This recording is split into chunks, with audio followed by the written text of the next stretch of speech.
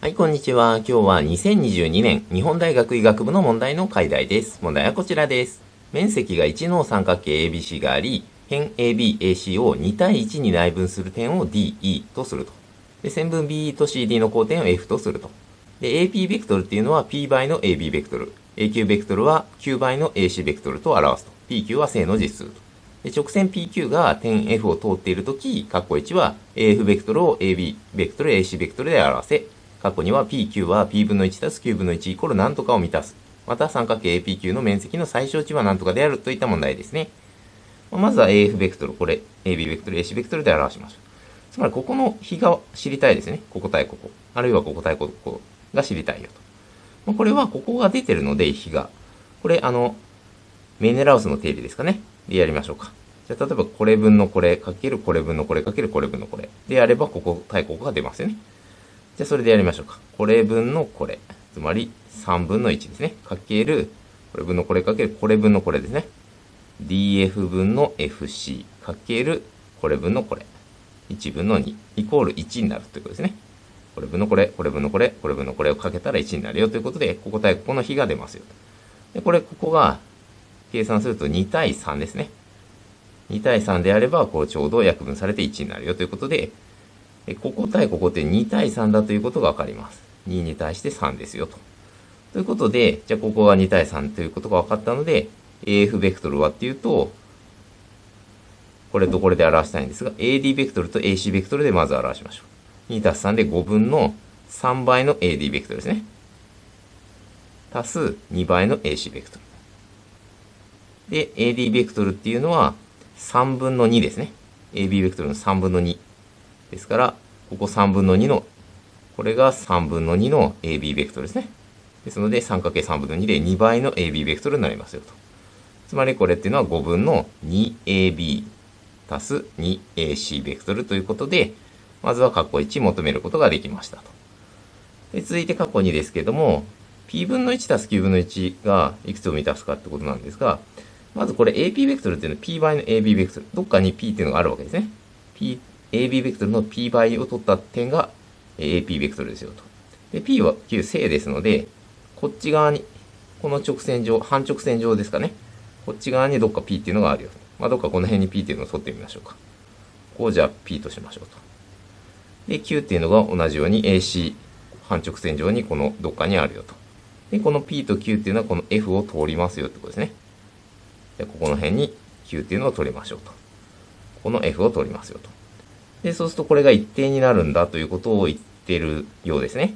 で、これを出しましょう。これもじゃあ AF ベクトル今出したので、えっと、これ PQ を使った式で AF ベクトル、このベクトルを出しましょうか。でそうすると、じゃあここ何対何になってるのかわかんないので、t 対1マイナス t としましょうか。pf 対 fq ですね。t 対1マイナス t としましょう。T 対1マイナス t に内分する点。とすると、この AF ベクトルはっていうと、これ足すこれで1ですね。これ分の1マイナス t かける AP ベクトルですね。足す t かける AQ ベクトルになりますね。こう表せるよと。で、AP ベクトルっていうのは今これですから、1マイナス t かける p の AB ベクトル。足す t かける AQ っていうのは QAC ですので、こう表せるよと。で、これがこれと一致するってことですね。ということは、ここが5分の2ってことですね。で、さらにここも5分の2ってことですね。ということから PQ の式が出そうだぞと。で、t を消去すればいいわけですね。要するに。t を消去したいよということで、t っていうのはこの式からえ t イコールにしましょうか。t イコールにすると9で割ってあげればいいので、5 9分の2になりますね。これの式を t イコールにするとこれで表せると。で、これをここに突っ込むと、1マイナス5 9分の2っていうのが、あ5 9分の2の p ですね。が5分の2。じゃあこれ p で割ると、5p 分の2ですね。こうなるよと。これがイコール。で、これこっち持ってくると、プラスの5 9分の2イコール1って形になりますね。これイコール1。じゃああと、この形にするために、これ5分の2でくくって2分の5倍すれば OK と。つまり p 分の1足す9分の1っていうのは2分の5ですねと。いうことで、こんな形で求めることができます。ここが2分の5。で、あと三角形 APQ の面積の最小値。じゃこの三角形 APQ、この面積を出したいよと。ですんで、まず面積を表す式はっていうと、AP の大きさかける三角形 APQ っていうのは面積は AP の大きさかける AQ の大きさ、ここかけるここかける2分の1のサイン A ですね。これで表せると。2分の1、ここかけるここかけるサイン A で面積が出ますよと。で、これの最小値ってことなんですが、今あと使ってない、これ面積1っていうのを使ってないですね。三角形 ABC の面積はっていうと、同様にこの式で表すと2分の 1AB の大きさ、AC の大きさ、で、サイン A ですね。2分の1、ここかけ、ここかけサイン A で三角形 ABC の面積。これが今1ですよということを言ってるわけですね。これが1ですよと。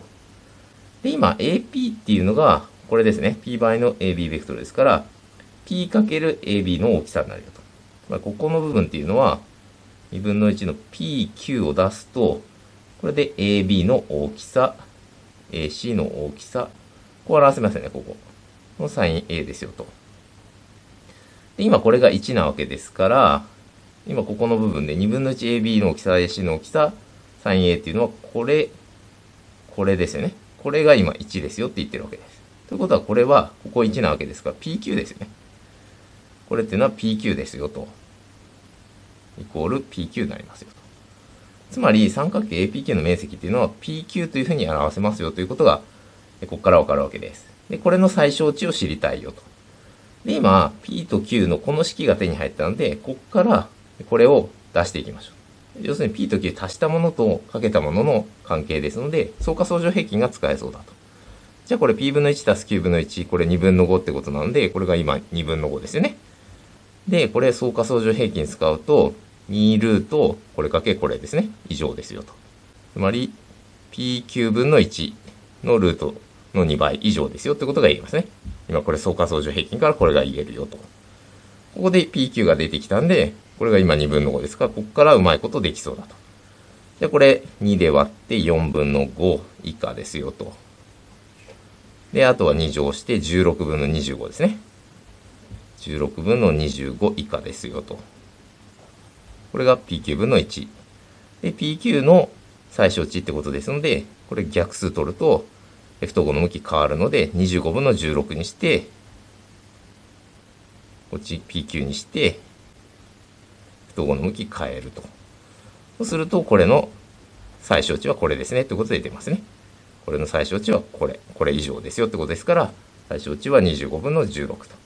まあ、ちなみにこれちゃんとイコールになるとこがあるのかっていうと、これ、統合成立はこれイコールこれの時ですね。